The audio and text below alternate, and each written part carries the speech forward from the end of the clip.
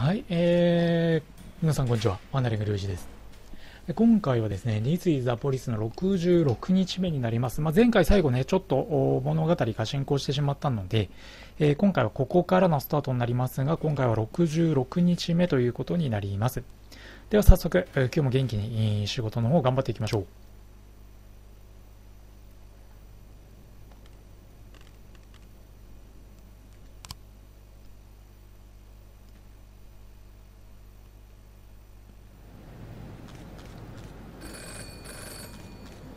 えーペナルティが発生してんのまだ、えー警官スロット減らされるわけですね。空きスロットがないので警官を減らさなきゃいけないとなるとまあここはじゃあモーザに散ってもらいましょう。というのも結局のところ刑事よりも警官の方が必要にはなってくるんでおっと。でここで連続殺人だけど刑事が出せないと。警官2人って言ってもな2人いないからな。どうすりゃいいんだろう。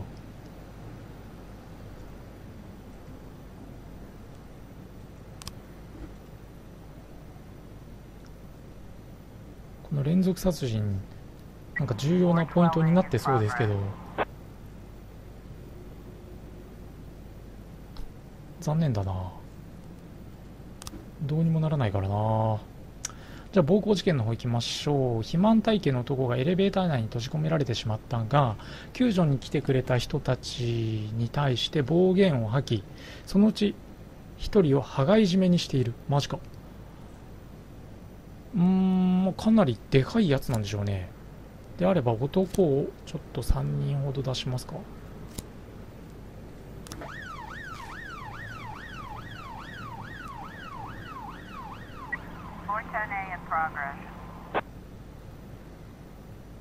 で殺人未遂事件ですね、えー怒り狂った若い女が野球バットで車を破壊しているのを窓から見たと年配のコンシェルジュから通報。なんか危ないやつがいますね、えー女は出てこい。嘘つき野郎。聞こえてるんだろう。この手で殺してやるからと叫んでいたらしい。なるほど。女には女を当てた方がいいでしょう。ここはプロクターにミルサップを出しましょう。気になるのが連続殺人の方の事件ですよね。あっちに人が出せないというのがすごく気になる。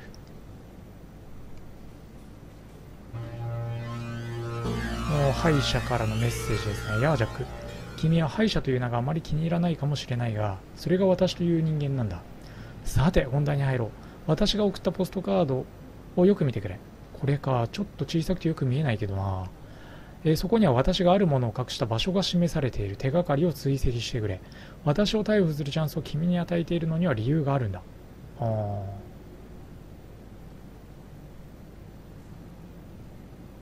ー。なんでしょうね。ここは手がかりをシェアしときましょうか。えー FBI に渡すと自分で捜査を続けることができなくなる捜査はしたいけど刑事がいないんでね。捜査できないんで。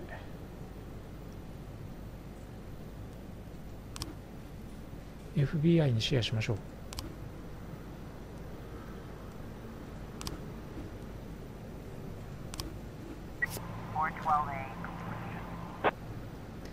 で暴行事件の方ですね。こちらは犯人に逃げられたが3人送ったのに。マジか。3人送ってエレベーター内に立てこもったやつを逮捕できなかったの？えー、っと今度は視聴率アップさせるのに失敗して仕事をクビになったというディレック・アレン・ソポクレス劇場の人か。あえー次の番組の計画をしていてテーマは普通の警官の毎日。あこのために警官を2人？うーんウッダードとじゃあケネディを出しますか。高額のボーナスがもらえるって書いてますからね。殺人未遂の方は犯人を逮捕してますね。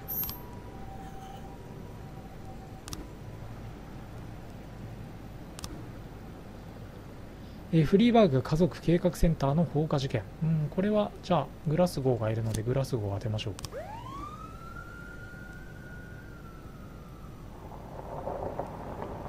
連続殺人ですね。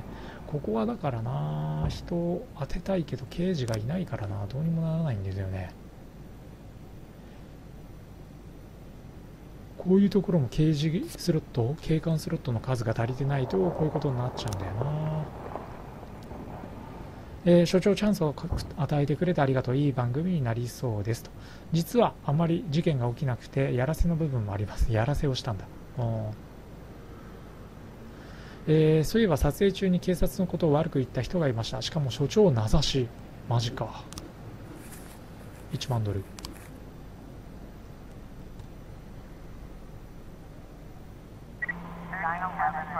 と同時に事件が起きているのはまず窃盗事件の方からいきましょう、えマイケル・キブソンは自分の八百屋を一瞬離れた隙に何者かにスイカを積み上げてあったカートを盗まれてしまった。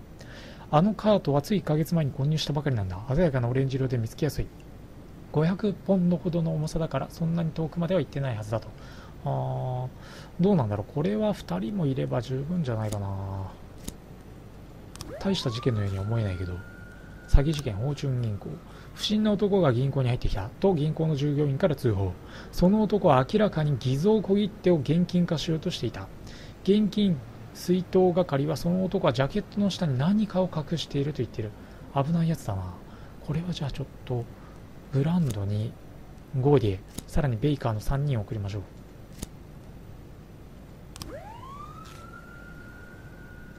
何を持ってるかによりますけどね。で放火事件の方ですね、えー、っと看護師ミーケル・エイヤースちょうど帰宅しようとしている時停電が起き突然辺りが静まり返りました。そして通りの方からまるで手を叩くかのようなくぐもった音が聞こえました。その時中にいた職員は10人ほど。最初は煙に気づきませんでした。うん。炎が目に入ったので大声で叫びましたが遅すぎました。同僚の何人かは逃げ遅れた。マジか。えー、シビリア・ジェームズ医師ですね。火事が起きたあの時間本来ならもう自宅に戻っているはずでした。建物を出た時に通りでロナルド・ショーマンに遭遇あ、うん、偶然会いました。彼は以前ここへ来た時のある患者さんの元旦那さんです。その患者さんはここで相談した後で中絶を選びました。うん。シャーマンさんはよく奥さんと言い争っていました。奥さんは暴力を振るわれていたようで結局2人は離婚しました。それ以降シャーマンさんは何度かここを訪れていたんです。火事のあった日は大きなリュックサックを背負って通りの反対側に立っていました。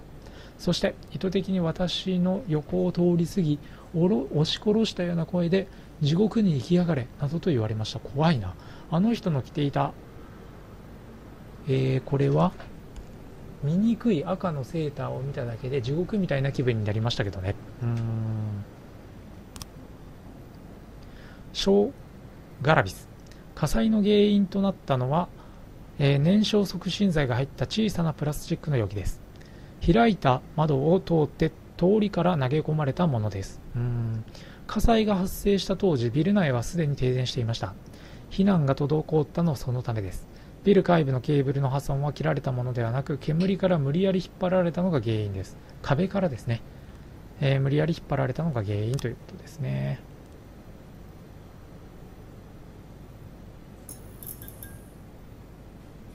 さあもう事件はいいぞ。このまま終わってくれ。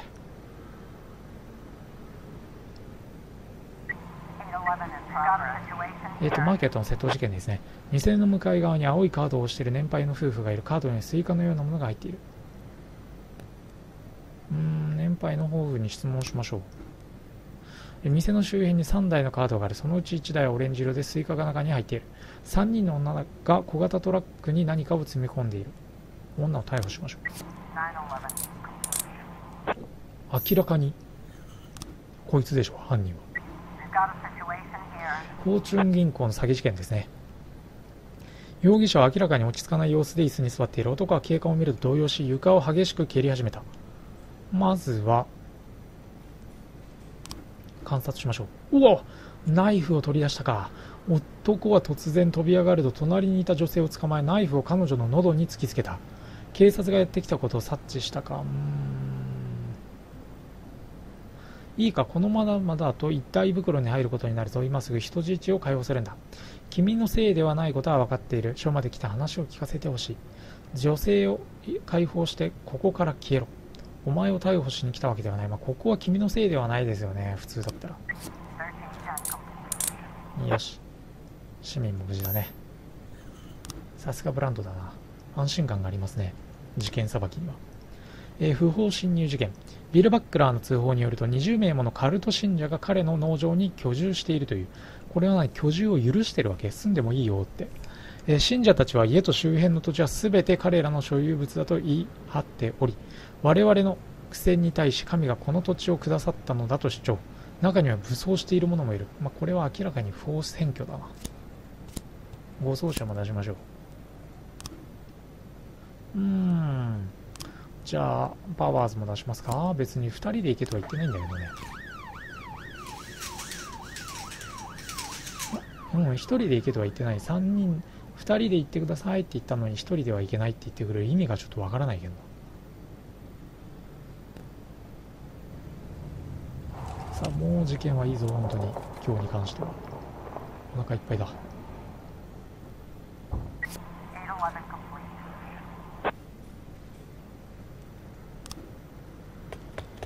不法侵入の子が逃げられて市民も死亡してるのか。ちょっと数が足りなかったのともうちょっと優秀な警官を出した方が良かったのかな。今日はただスワットを出さなきゃいけないような凶悪事件は起きてないでいいのかな。放火の方は3枚の写真が手に入ってますね。二重殺人の方はこれで写真が集まったなえーと、グレーのコートと白い T シャツを着た背の高い中年の男が店に入るアルコール売り場に直行男がビールレジへ向かったと。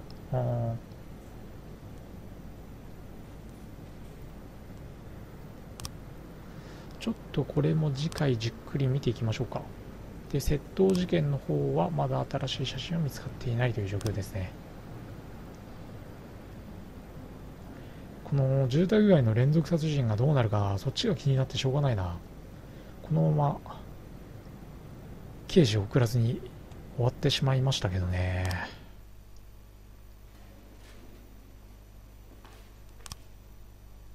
So I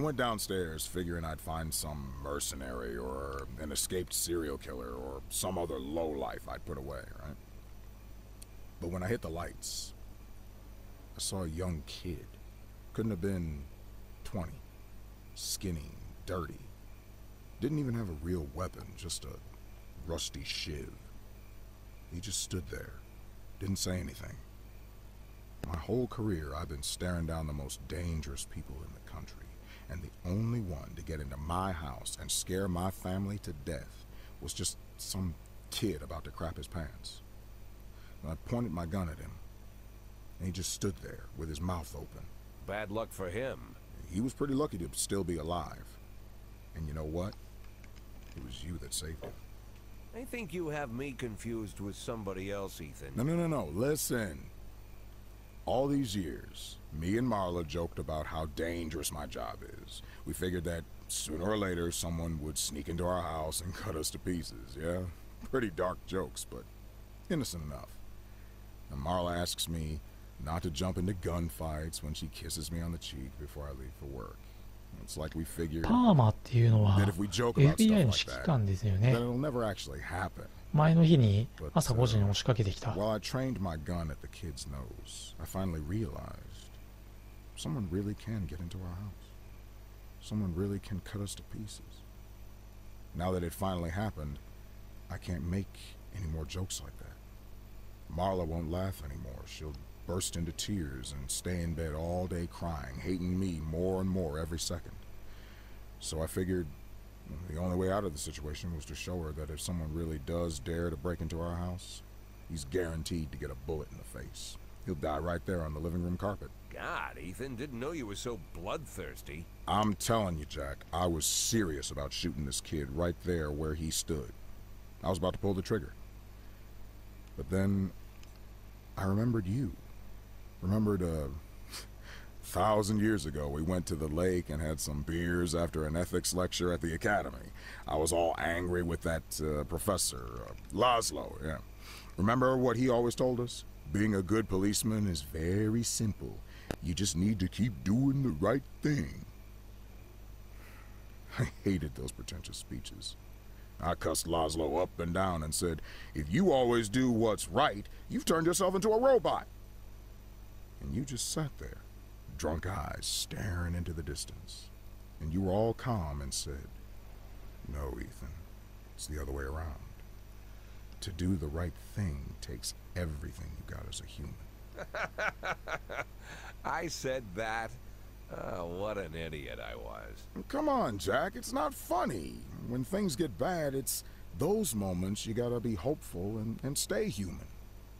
And I did just like you said. I stayed human.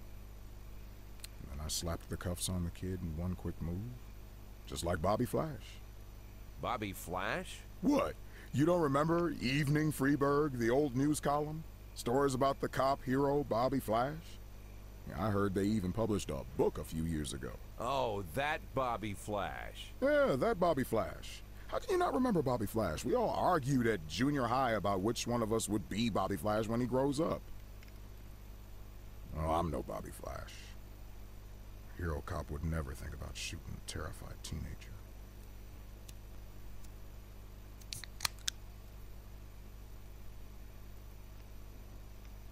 But wait a minute. If I'm not Bobby Flash, then maybe you are. Yeah, maybe so.